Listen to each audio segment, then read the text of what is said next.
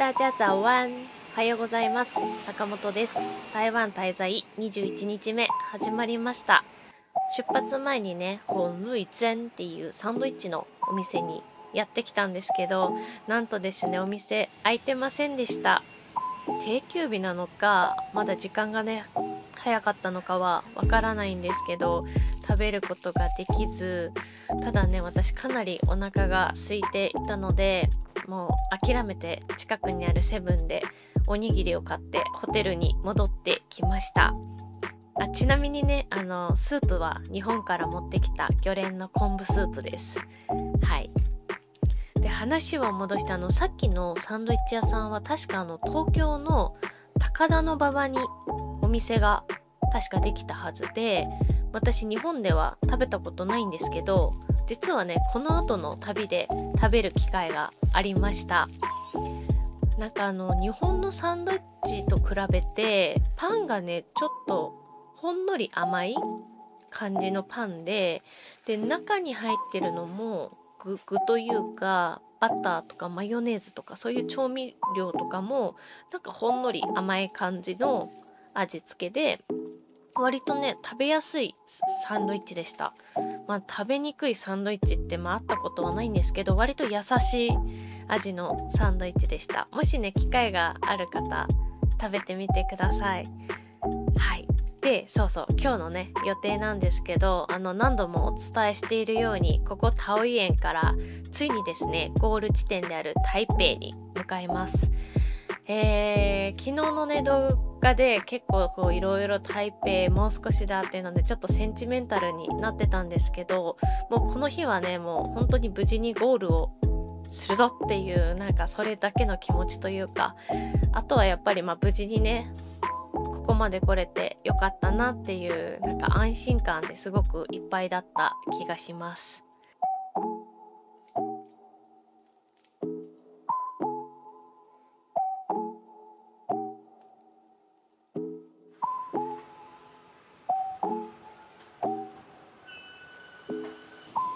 はい、ということでね、チェックアウトをして出てきました。荷物はね、引き続き預かっていただいて、帰りに取って台北へ向かいたいと思います。そう。でね、今日の天気はこんな感じでございます。晴れてます。いやもうね、ほんと、これだけでも十分幸せです。もうハッピーです。そう、出発する日がね、あの、雨降ってたんですよね。皆さん覚えてますか？そうそう。まあそれはねそれで仕方なかったんですけど、まあ、せっかくなら晴れてほしいなってもう願っていたのでもう晴れてるだけで十分私はこの日幸せでした。はいでねそう私が来たかったのがここタオイ園の神社になります。今ね漢字では忠烈祠忠烈祠って書いてあったんですけどここがねあの桃園神社って調べると出てくるんですけどあの神社になります。多分ね皆さん見たらびっくりすると思うんですけどえここ日本じゃないかなってこの後の映像を見たら思うと思うんですけど本当にまんま神社でございます。そう鳥居があって。っていうのも、あのー私ね今回の旅で台湾の歴史そして日本統治時代の歴史とかいろいろ私ができる範囲で学んできたつもりではいるんですけどここのね神社がまあ日本統治時代に作られた神社になるんですけど台湾全体でね大小合わせて200近く作られたらしいんですよ。そんな中でもここの神社は割と何て言うんでしょう二次大戦後第二次世界大戦後もあの残されたというか壊されることなく残された神社になるのでとてもですね日本味が溢れている場所になっております。ねもうまんま日本ですよね。そうで私がね来て驚いたのが、まあ、この神社の日本味が溢れてるというかっていう部分もそうなんですけどすごいねあのお客さんお客さんっていうのかなあの参拝者っていうのかなの方が来ていて、まあ、私はね日本から来て、まあ、日本人だしなんか、まあ、特別な場所というか何て言っていいか分かんないんですけど親しみのある場所かなるんで来てたんですけど台湾の方がね本当にたくさん来てました。であとはねこの神社の中でフリーマーケットみたいのをしたりとかあとはだから、ね、お祭りみたいな感じでにぎわっていてあとはあの浴衣ね着た女の子たちがたくさん写真を撮っていてすごくねにぎわっていました。なんかね私はそれがすごく嬉しくて、まあ、あの日本統治時代ってねあのなんだろう人によっては喜ばしい時代ではないと思うんですけどでもこうやってね今も台湾で神社が残っていてなんか愛されてる場所なんだなって思っただけですごく私は嬉しくなりました。であのせっかくね来たのであの絵馬そうみんなね結構書いてあったので普段ね私日本にいる時も書かないんですけど、まあ、せっかくね日本から来たしということで絵馬を書くことにしました。皆さん絵馬って何書きますか？そう私ねこの、まあ、絵馬の代金払っていざ書こうと思った時もちょっと悩みましてえ何書こうって。なんか受験とかあのねあって志望校がある場合は割と分かりやすかったりするじゃないですか。あとは恋愛成就とか。そうそう。ね結構ありますよね。誰々君と幸せになりたいみたいな。そうねそういうのもあるんですけどもう結婚してるしもうなんか願うことといったらもう健康しかなくて。そうそう。いやもうねこの年になると本当それが全てなんですけど健康第一というかそう自分だけじゃなくて家族含めねみんなの健康を祈ることしかないよなって思ったんですけど、まあ、せっかくねもうせっかくって何度言うんだって話なんですけどまあ今回台湾一周して、まあ、日本からねあの来て3年間くらい日本で中国語を勉強してきてっていうなんか流れもあったのでまあせっかくならばということで健康以外のことを書きました。そう結構ね真剣にね考えましたよ、うん、ここ最近の中で一番頭使ったんじゃないかなっていうくらい まあこの絵馬にねせっかく来たので思いを込めることにしました。そう内容はねあ書き終わりました。さて皆さんにお見せできるものでしょうか？そうちょっとねペンのね出が悪くて。そうちょっとね書き足してる感じですね。はい。どうだろう？どうでしょう？はい書き終わりました。はい。いやもうねちょっとねすいません。これはねまあ、真剣に書いた内容なんですけどちょっと結構真面目な内容になったのでモザイクかけさせていただきます。はい。ちょっとねあの真剣な願いをということで。でねこちらに最後私もかけて帰ってきました。そう。ここのね神社は本当になんかリラックスというか心がリフレッシュできました。えーと、タオエンの駅からバスで15分20分くらいのところにあるのでそんなにね離れた場所ではないのでよかったらタオエンに来られる方ここにもね足を伸ばしてみてはいかがでしょうか。はいということでね神社堪能したのでホテルに戻りたいと思いますでねあのバス停は神社の目の前にあったので交通アクセスは抜群に良かったですただねもうとにかく暑いと。この時はもうまだ4月のね中旬だったんですけど30度くらいあってもうちょっとした時間でもね私は木陰で涼んでました。うん、なので同じね時期に台湾にいらっしゃる方がいましたらぜひぜひお気をつけください。はい、でねホテルに戻って少しね休憩してから台北に向かうことにしたんですけどあのここのホテルにあの日本語を話される方がいらっしゃってでまあ日本語でね話してたんですけどもうなんか安心感が半端なくてで私あの今回の旅行ではあえてなんだろう自分の中国語の勉強のために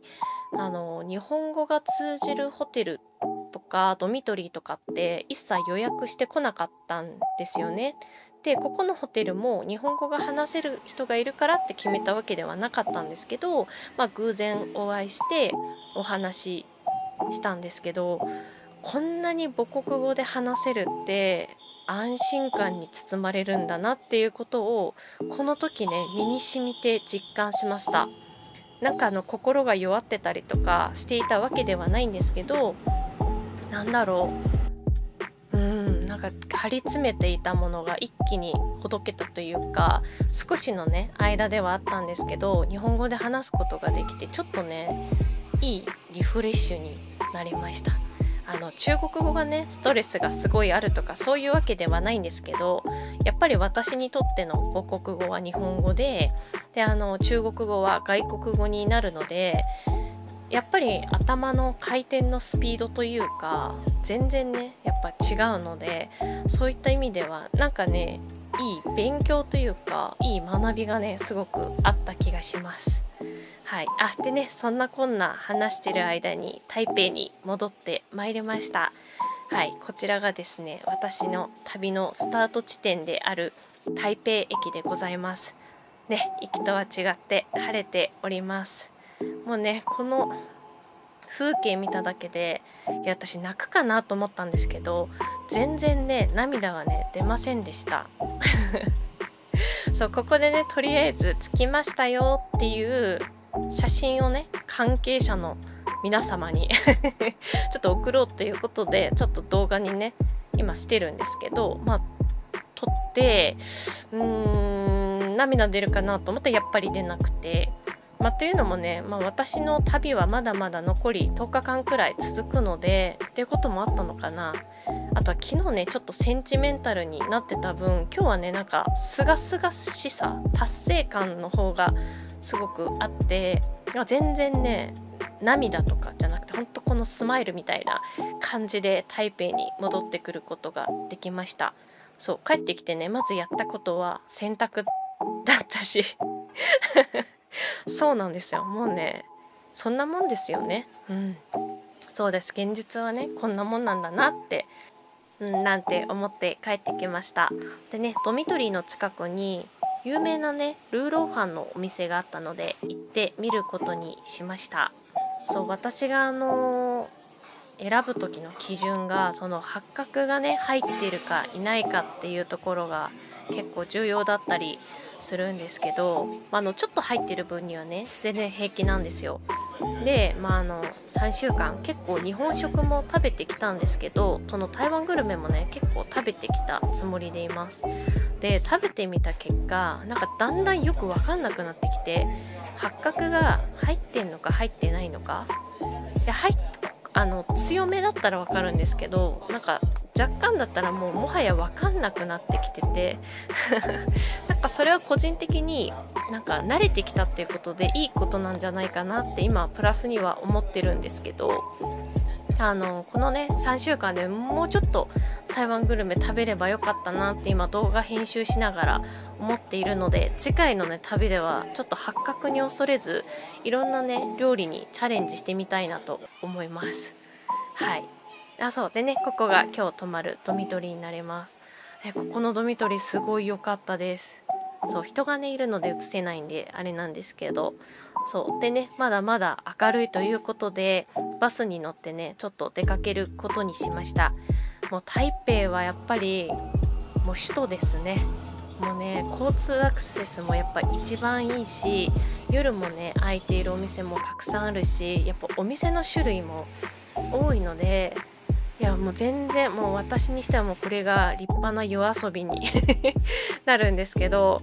あのすごくね楽しかったです。なんかワクワクしました。あの決してね他の場所がワクワクしないっていうわけではないですよ。うんただねやっぱりすごくね楽しかったです。でね今日私はあのまあ帰国に向けて欲しいものをねちょっといろいろ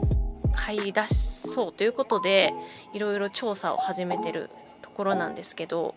今日はねあの本屋さんに行ってきました。というのもあの中国語ね勉強してる上でちょっと漫画が欲しくてそう日本でもねあのネットで買うことはできるんですけど私本屋さんでね自分の手に取って見て買うのが好きなのですごい重いんですけど、えーと、ちびまる子ちゃんとこじこじあの台中でね1冊ずつ買ったんですけどその残りを買うことにしました。はい。あのねこれもうめちゃくちゃ重いのでリュックに多分入んないので多分送ることになると思います。そうそれもねちょっと中国語の勉強とし一つとしてね楽しみではあるんですけど。はい。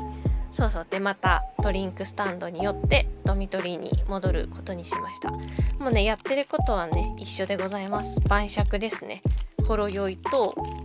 お菓子を買ってドミトリーでね、まあ、無事にゴールしたということで、まあ、しんみりするあれもなくお疲れ様ということで一人で晩酌をしております。この時にね、まあ、家族もそうだし台湾で知り合った友人にもみんなに LINE 送ってありがとうございましたっていう感謝の気持ちを伝えました。はいそれではね今日のまとめに入りたいと思います。今日は台湾滞在21日目ということで桃園から台北までやってきました。はいそしてねあの無事に今回の台湾一周の旅は台北からスタートしてここ台北でゴールとなります。皆さんあのこれまでね動画でご視聴いただきまして本当にありがとうございました。はい。ただですねあの私は1ヶ月まあ30日滞在する予定でございましてあと1週間ちょっと引き続きね台湾に滞在する予定でございます。で明日はねあのもう一日台北で過ごす予定でいるんですがあのー、その翌日からまたちょっと台湾全土を駆け巡るというかですね離島に行く予定でございます。そうでね今まではあのある程度ルート台北からスタートして東部の方から時計回りっていうことで想像できたんですが離島ってなると、まあ、台湾もね日本と同じように、まあ、島国でいろいろ本土以外にも離島があります。でどこに行くかって全然想像つかないんじゃないかなと思いますので是非ね今あのご覧いただいている方どこに行くのかっていうのをまあ次の次の回で発表にはなるんですけどお楽しみにねしていただければと思います。はい。でね明日はちょっとゆっくり台北で過ごす予定ですので台北の風景をねお届けできるんじゃないかなと思います。はい。でね今日はまあ達成感いっぱいで全然センチメンタルな感じではないのであっさりとさっぱりと はい動画はねこちらでおしまいにさせていただこうと思います。